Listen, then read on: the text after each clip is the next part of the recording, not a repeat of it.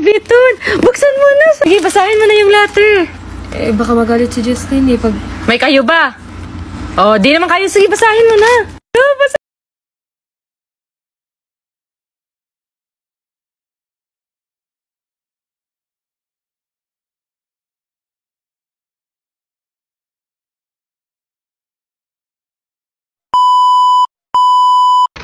Thank you po, kuya.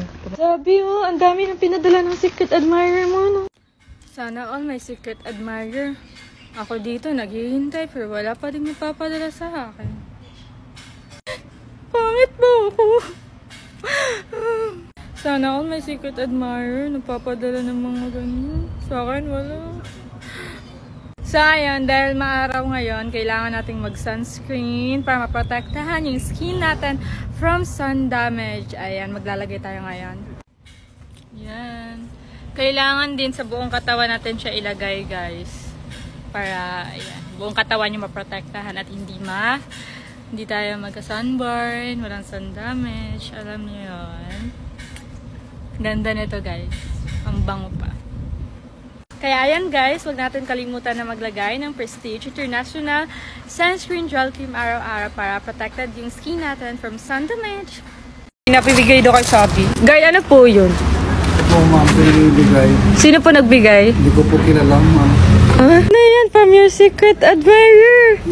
Wala. Hindi mo na kay Sabi. Sabi, pinapabigay sa'yo. Yung guard, sabi niya from your secret admirer. Huh? Louis Vuitton! Buksan mo na! Sige, basahin mo na yung letter. Eh, baka magalit si Justin eh. Pag... May kayo ba? Oh, di naman kayo. Sige, basahin mo na. Oh, basahin na.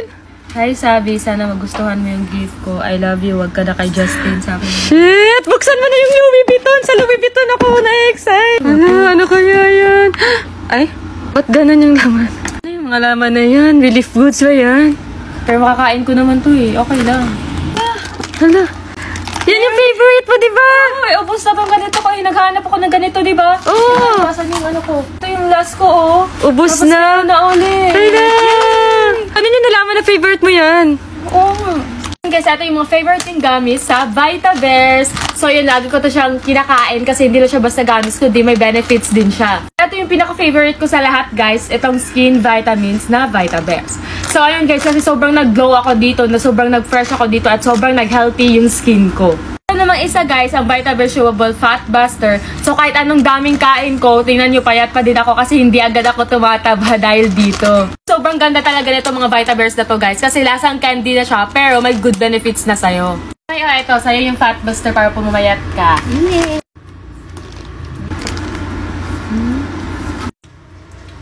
Thank you, Secret Admirer. Sabina. Sabina. Tulog ka na, anak. Mag-lotion ka muna. Bago ka matulog para hindi mag-dry yung skin mo. Sige. Mainit ka. Inom ka ng gamot. Ayan guys, sobrang ganda ng Luxury Whitening Lotion kasi ang bango niya. Tapos nakakaputi at meron siya SPF 50.